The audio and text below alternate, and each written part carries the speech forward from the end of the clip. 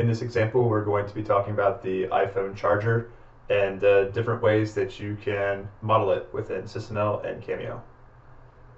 So what we got right here is the charging context. We have the iPhone itself, the charger cable, the charger box, and the wall outlet.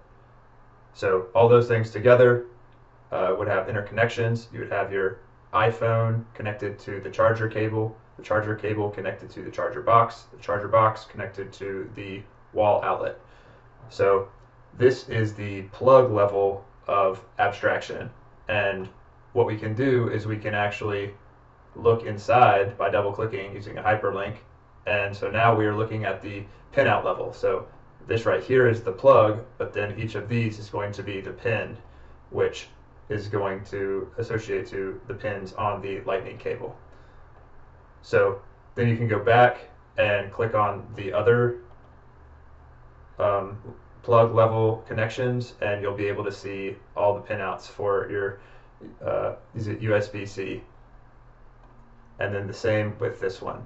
So we have two levels of abstraction here that we have to work on or need to understand. We have the plug level and the pinout level and it, it ends up looking pretty straightforward and it's easy to navigate.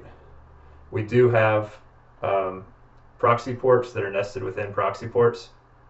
Um, so now that we've understand kind of the context, um, we'll, we'll also look at the charging context ICD. So this is all given to you just by using a white box ICD table. So we have the part property over here for part A and then where it goes to. So the box goes to the wall outlet, and then these are the items that flow across that. These are the features. These are the port B features.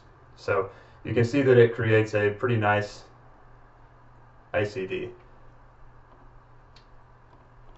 Looking into more detail in the containment tree, I've got uh, the charging context where we have each of these views. So this is the high level view, which is going to be this one and then we've got the detail views right here. So we have wall detail, that would be this one. And, and so we have a detail view for each of these zoom in views. And you can see the proxy ports for all of those. I'll make those smaller. And then we've got our connector level interface blocks. So this is what I said plug level. So we got the lightning connector, the standard wall plug, and the USB-C. So each of those are going to have a proxy port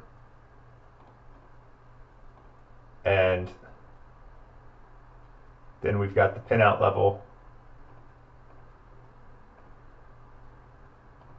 and these interface blocks have flow properties and they are typed by signals and these signals are down here.